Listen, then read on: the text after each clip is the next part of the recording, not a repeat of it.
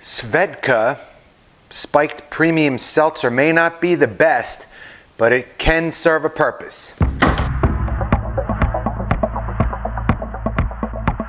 Hey there, NJ, Route22.com here with another quick uh, alcohol review. And this today it's about Svedka. Does it focus? Svedka. Svedka. Spiked premium seltzer. This is uh, an interesting um, product because it's only two grams and it's a little bit above. I, I, like to do one or zero grams of carbs. But this one I, I decided to entertain because it's only two grams of carbs.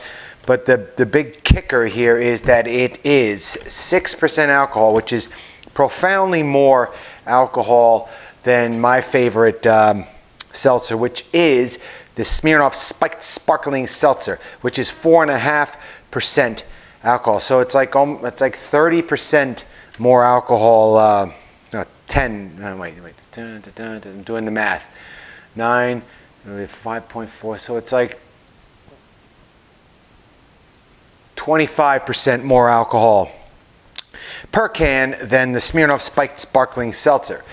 Um, but that's not all. It's not all about alcohol. Um, but that we'll come back to that in a minute. First of all, this is a bubbly drink. It tastes tastes like alcohol, and they call it spiked premium. There's three flavors in this variety pack, and they've uh, actually differentiated themselves. Most four, uh, 12 packs have four cans, four different flavors, and three cans of each. This has three flavors and four cans of each. Big whoop, right? Um, but that could pose a problem because there's three flavors wild strawberry, cucumber, lime, and ruby red grapefruit. And I'll be the first to say, probably, that I don't really like any of these flavors at all. Um, maybe I would, if I had to rank them, I would say ruby red grapefruit is the best, um, followed by wild strawberry, which almost had no taste at all, and then cucumber lime I hate to say, tastes a little bit like your mouth does after you throw up. Um, it wasn't horrible like the actual taste of throw up, but it had more of a not so horrible remnant of throw up. I don't know. Uh, my first time drinking this, I tasted, I drank it only. I didn't have vodka, I didn't have anything else except this, and I water, I water my drinks down with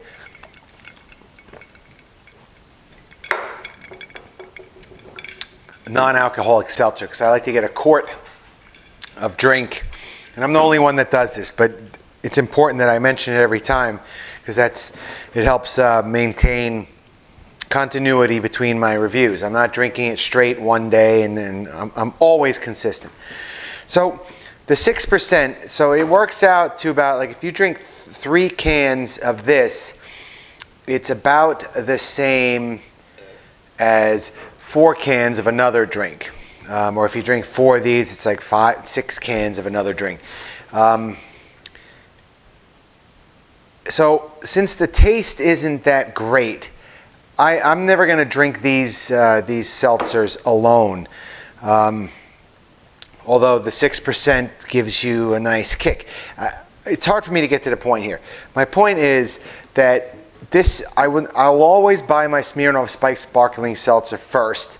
And I've been doing something um, very unusual. I've been mixing the Crook and Marker seltzer in. I'll do like, uh, I have all these wacky formulas where I do like a half a can of Smirnoff, a quarter can of Svedka, and a quarter can of Crook and Marker. And it's a very nice tasting drink. Um, the Svedka doesn't ruin it.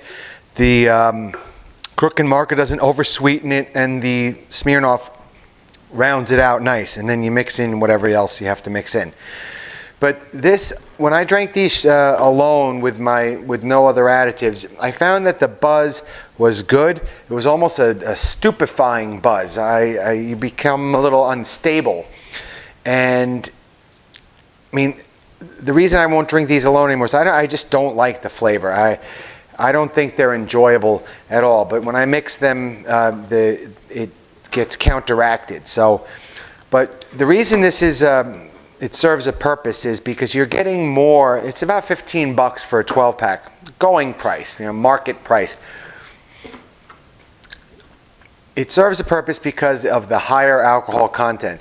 12 cans of this is probably equal to about 15 or 16 cans of another brand. So you get more for your money.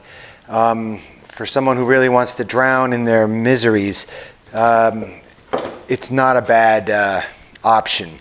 And the fact that it's fairly low carb, well, very low carb, but just not as low carb as the White Claw Pure or Smirnoff. I mean, 12, 12 grams of carbs difference over another 12 pack of Smirnoff isn't going to kill anybody. So I'll keep it in my rotation. I may, you know, buy a, a 12 pack just to keep keep the prepping shelf um, to have, you know, as an emergency backup, or if you want to like heighten the alcohol on, on one of your drinks, you can throw some of this higher octane um, beverage in there. But the flavors are crap. They should have had me on the uh, taste tasting panel when I uh, when they were creating them because they're they're really awful. Maybe that's just a byproduct of the six percent that they can't just get it to taste good. But they should maybe call Crook and Marker and say, hey, can I borrow some of your erythritol recipes? Maybe we can sweeten it that way a little bit. But that's it. It's a little uh, something for you to consider if you're in the spiked seltzer um, market. Have a good weekend.